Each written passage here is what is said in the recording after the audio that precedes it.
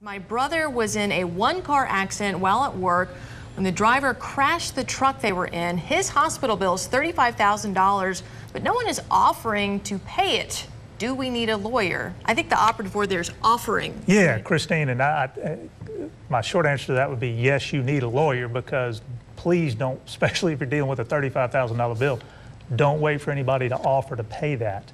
Uh, if the way I read that email, if, if he's in a truck at work and one of his co-employees wrecks that truck, hopefully the employer has workers' comp insurance uh, to where your brother should be covered. And, and those bills, as bad as some elements of the comp statute are in Alabama, his medical bills relating to any injury he sustains on the job will be covered. Um, the only other avenue I can see, and Robert and I talked a little bit about this beforehand, I actually have a situation where a guy was in his uh, work truck and was run off the road and was injured, ended up having a serious injury to his neck.